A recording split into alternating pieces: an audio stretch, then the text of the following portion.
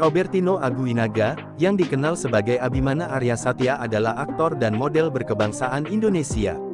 Abimana mulai dikenal ketika membintangi sinetron Lupus Milenia pada tahun 1999,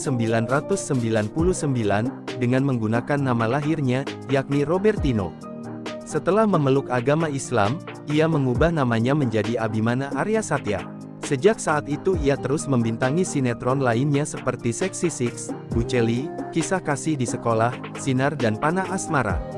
Namanya semakin dikenal kala membintangi sejumlah film seperti Serigala Terakhir, Catatan Harian Si Boy, Republik Twitter, dan Sang Pemimpi.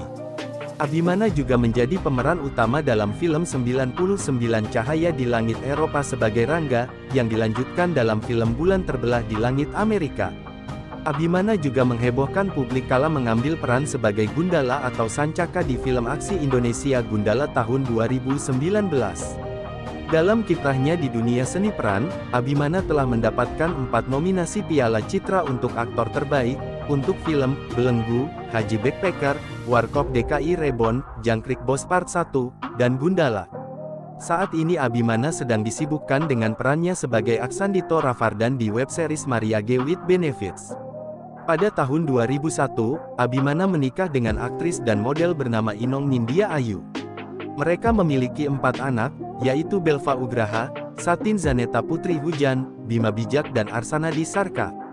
Berikut biodata Abimana Arya Satya. Nama lengkap, Robertino Aguinaga.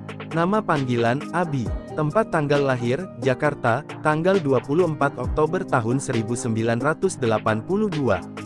Umur, 41 tahun. Agama, Islam. Profesi, aktor dan model.